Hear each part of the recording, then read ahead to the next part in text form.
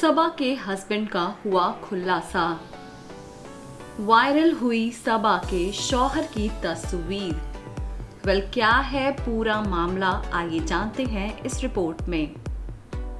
हाल ही में सबा ने एक ड्रेस पहन फोटोशूट करवाया था और साथ ही वो ब्लश भी करती नज़र आ रही थी। जब उनसे एक फ़ैन ने पूछा कि क्या किसी स्पेशल ने ये गिफ्ट दिया है, जिस पर सबा ने कहा कि हाँ वैसा ही समझ लीजिए।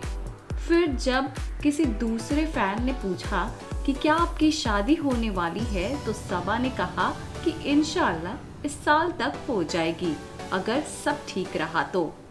वेल, सबा ने अपनी शादी का इशारा ब्लॉग के ज़रिए दे डाला था।